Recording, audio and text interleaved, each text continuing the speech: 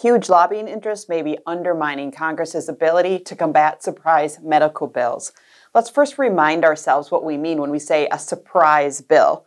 This could be uh, a bill that you receive because you got care that was maybe out of network and you get a surprise bill in the mail saying you owe this much money for a service you thought maybe should have been covered.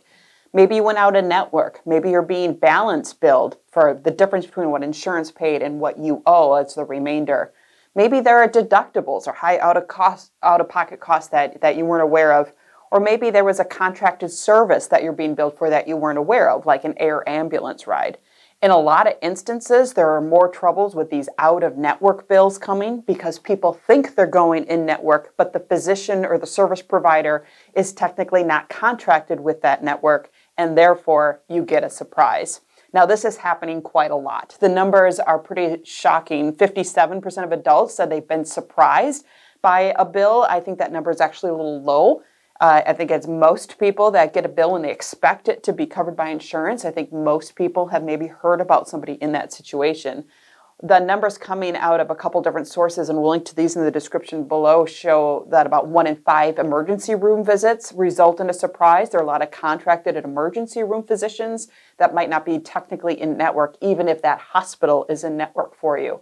One in six insured hospital patients get a surprise bill for out of network care and that air ambulance that we mentioned, that number is close to 70% of air ambulance transports were considered out of network. Now, because of this, some states have started taking action. About half of the states actually have some sort of provision on the books that's either going to outlaw balance billing, that's going to make it a little bit harder for uh, a, a large surprise bill to end up in the mailbox of a patient, but only a handful of states are doing this aggressively. In order to be successful, we actually do need a more federal solution since not all insurance plans are regulated by the state in which the individuals are insured. So there's a difference between state regulated plans and federally regulated plans. A law in the state of Texas, for example, would not impact at all anybody insured by a federally, federally regulated plan in the state of Texas. So we need something to come out of the US Congress to combat surprise bills.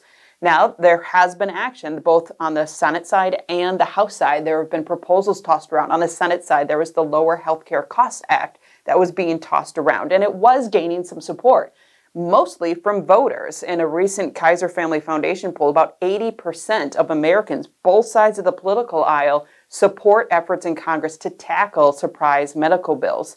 Now, because of that support and the conversations that are happening, opponents are getting louder roadblocks are now in the way of some of these congressional actions. And you can see who it might be from physician groups and staffing firms and the private equity firms that back them. These are the companies that employ doctors and assign them to healthcare facilities, whether or not they are all considered part of the same insurance network.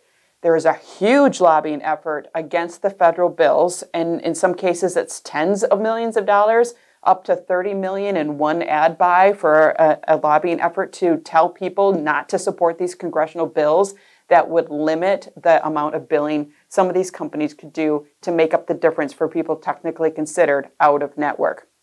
These companies, of course, benefit from the ability to bill out of network. They don't like the idea of putting an end to that, and they certainly don't like the idea of some of the cost controls and price controls that appear in some of these congressional bills. Congress Congress's push, therefore, to combat surprise medical bills could be buckling under this huge lobbying interest. And a lot of health policy experts and political experts are telling us the closer we get to an election, to that 2020 election, bipartisan action on anything healthcare related could be hard to find. We're not saying these efforts are dead in the water, but there's a lot of pressure, pressure against them at this time. If you want to read up on this topic, and we'll keep you posted here as well, there are a couple articles of interest that we're linking to in the description below. If you like this video, go ahead and like the, uh, hit the like button and subscribe to stay up to date on surprise medical bills and other healthcare topics.